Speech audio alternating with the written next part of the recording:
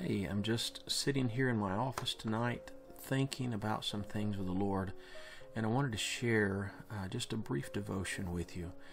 Consider when God placed Adam and Eve on the earth and He gave them one commandment. And that commandment was don't touch this tree, and to do so will cause death. Of course, eventually they did touch the tree and it caused death, but ultimately we call it sin.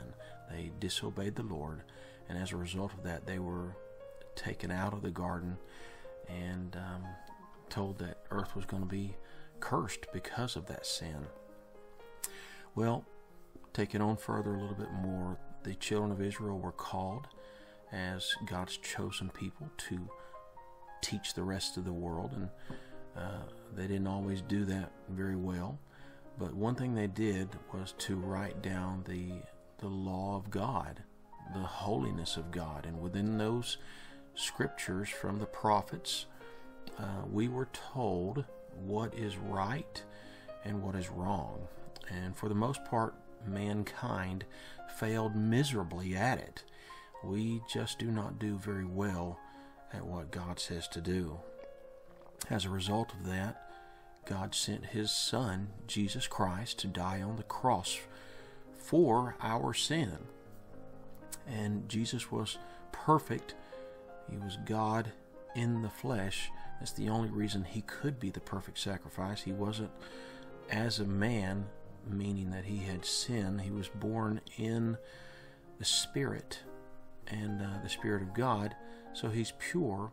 And He went to the cross as a holy uh, pure Lamb of God.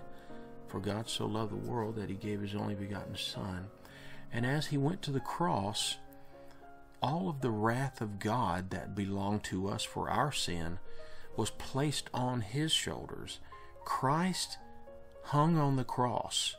Now get this because of our sin. And if, if as believers, and this is my main point, if as believers we could grasp what he did on that cross and, and why he did it. It was because of our sin. Perhaps we would learn to hate sin as much as God hates it because of what it does to humanity. God knew what would happen as a result of us becoming disobedient and that passing down from generation to generation. And every time we give in to sin, we are just separating ourselves further and further from the person that God would have us to be.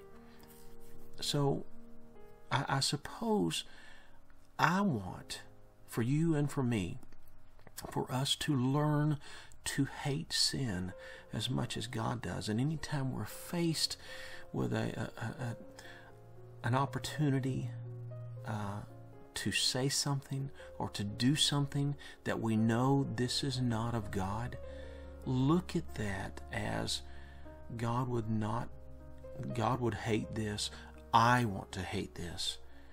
Being imitators of Christ is not going to be easy, but I think it will make it a little bit easier to see if we learn that that sin is is deadly. It, it put Christ on the cross.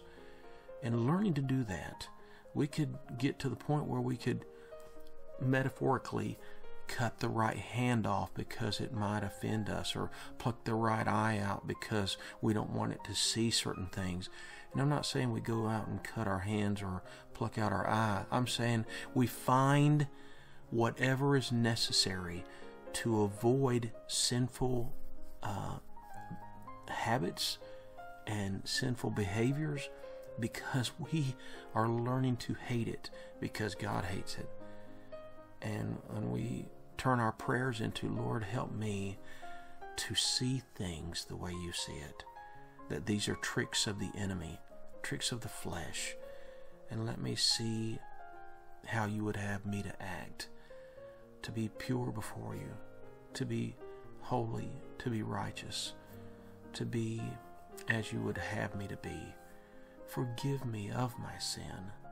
Learn to be broken of a contrite spirit before the Lord.